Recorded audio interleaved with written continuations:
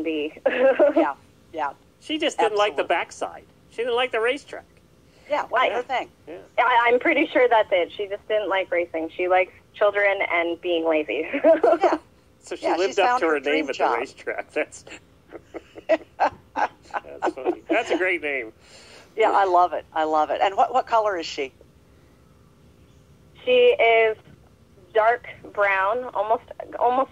Um, she's registered as bay, um, but she's pretty close to being a brown color, and she doesn't have any white on her except one little spot on her foot.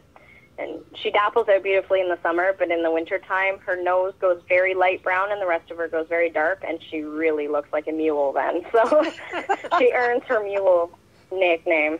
Yeah. Oh, wow, that is so cool. So, how do how do people get involved? How do they how do they find you? And um, you have some board positions open, is that right?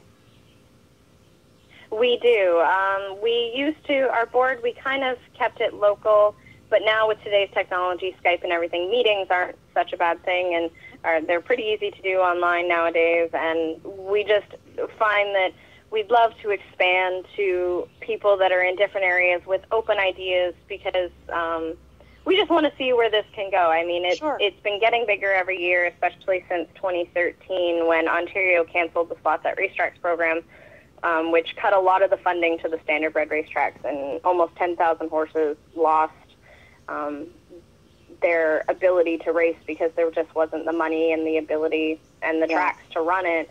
So standardbreds have been quickly needing homes, and so we've been growing very rapidly, and we would just love people's new ideas um, Sure. of where Sure. they think we should go. What So- is what is the website? So our website is www.goandplaystables.org. Um, it's Okay. pretty easy to find, thankfully. goandplaystables.org. Okay, I hope everybody um, Yeah. checks them out because it's uh, a really, really great charity and um, something that's very much needed. So, uh, thank you, Kimberly, so much for coming on, and we so appreciate having um, had the time to talk to you and learn more about what you're doing. And um, you know, go go give Hooch a, a hug for all of us. thank you, I will, and thank you so much for having me. I appreciate having the ability to come on and just talk about what I love so much. You are very welcome. Thank you. Thank you, Kim.